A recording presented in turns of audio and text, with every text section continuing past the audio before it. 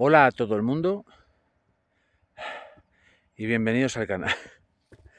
Estoy una gotina sofocado porque hoy es un día importante en el huerto. He estado haciendo dos buenos hoyos en el, en el suelo porque hoy voy a plantar dos frutales, concretamente dos manzanos. Y esto ha sido una cosa de, deliberar bastante por varios motivos. Uno, porque habida cuenta de las temperaturas que se están teniendo eh, este invierno, y no creo que los inviernos siguientes, bueno, habrá excepciones de inviernos fríos, pero tienden a no ser tan fríos como antes, hola, cambio climático, pues los manzanos necesitan frío en invierno y si no reciben el suficiente frío invernal, no son tan productivos como deberían. Entonces lo he pensado mucho, mucho, mucho, pero al final he dicho, en León al final es una zona que tiende a ser fresca. Así que dije, bueno, manzanos. Otra deliberación, uno o varios. He decidido dos. ¿Por qué? Porque los manzanos eh, es mejor que estén dos juntos. Porque al final los polinizadores polinizan unas flores de uno y de otro y tienen mejores producciones. Y, uy, un mosquito. Y otra cosa que me ha tenido a mí la cabeza entretenida ha sido la ubicación de los mismos. Y os voy a enseñar los hoyos y dónde los voy a poner. Y los manzanos también. A ver, que no se me caiga esto. A ver, libramos. Vale, hemos librado. Perdón por el plano. vale, los hoyos son estos. Los hoyos son. tendrán como unos 40 centímetros cada uno y de ancho, pues más o menos lo mismo. Y el, uy, pero se me cae. Y el cepellón de los manzanos, que, esperad, los protagonistas, son estos. He decidido eh, poner unos manzanos de la variedad Fuji. Me gustan esas manzanas. Entonces, se supone que, y antes de nada, deciros que yo no, soy, no es que sea un experto en frutales.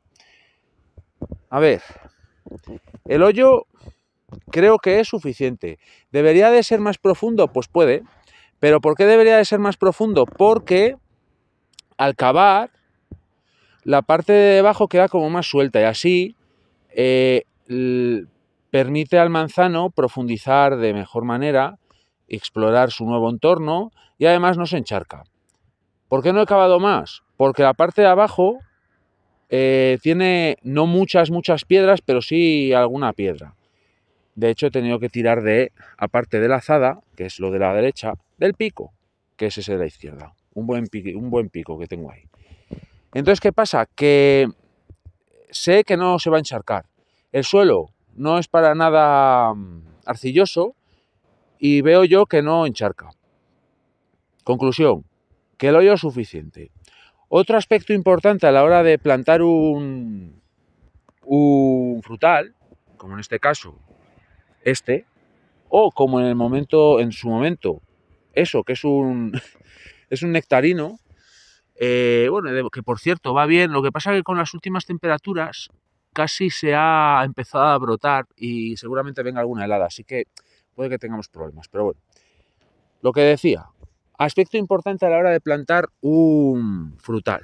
Los frutales, casi todos, son de. son injertados. Y aquí está el injerto. Este es el pie. Y aquí se ve claramente como hay otra parte que es el injerto. ¿Para qué lo hacen? Pues para que tenga producción. Esto es de una variedad la variedad Fuji, y este será pues un manzano, no sé, pues a saber, es que lo del tema de los injertos es la bomba. Yo nunca he injertado, ¿eh? pero sé de lo que se hace y he hablado con gente que lo hace y demás. Puede que incluso sea, no os voy a decir un rosal silvestre, que son de la familia, pero es un, digamos, que una vez quien me lo explicó decía que el pie de injerto es, es bravo. Entonces, tiene mucha fuerza.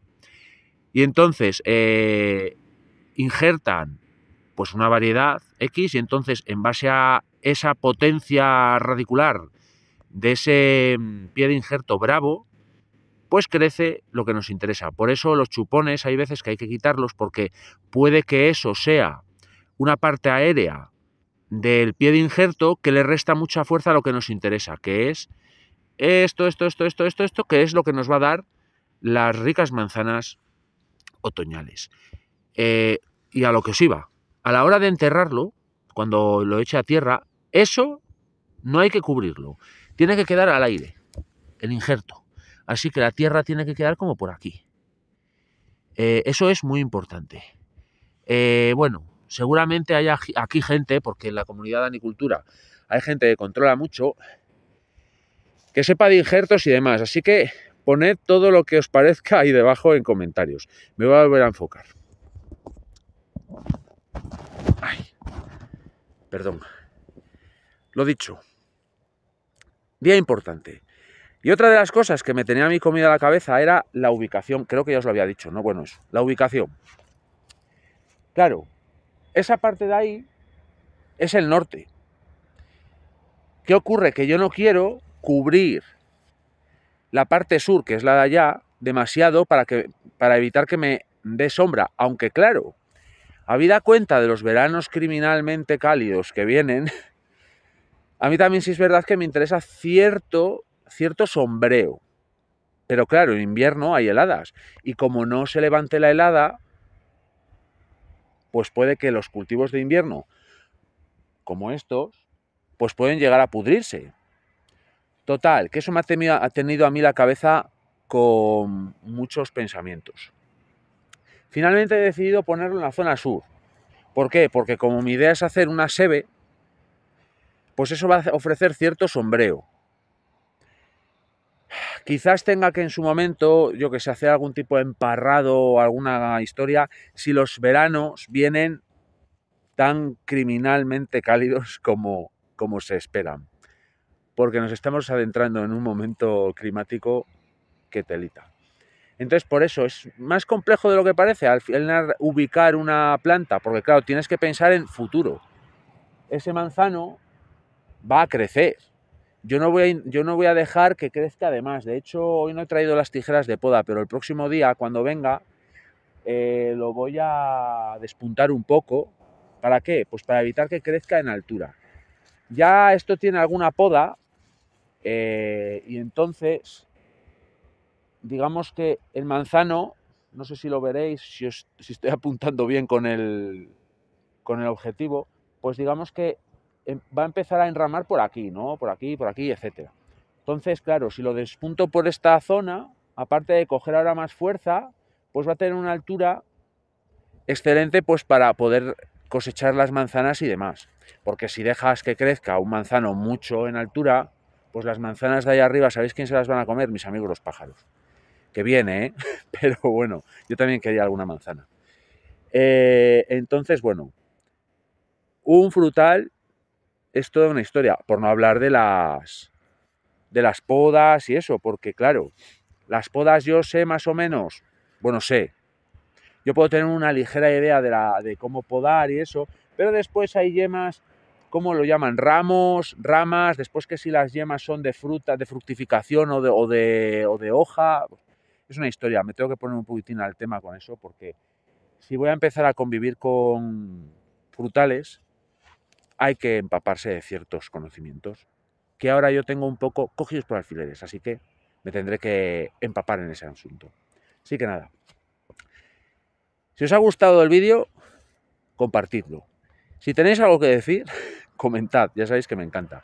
Por cierto, para comentar más, id al canal del Telegram de Danicultura. Ahí la comunidad se desarrolla a tope y me encanta.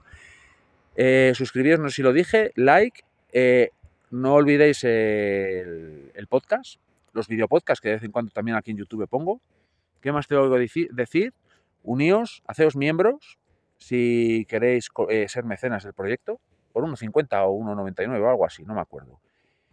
¿Y qué más? Pues nada, que espero que os guste todo este asunto que suelo hacer por aquí. Así que nada, nos vemos en el siguiente vídeo y muchas gracias por estar aquí. Chao.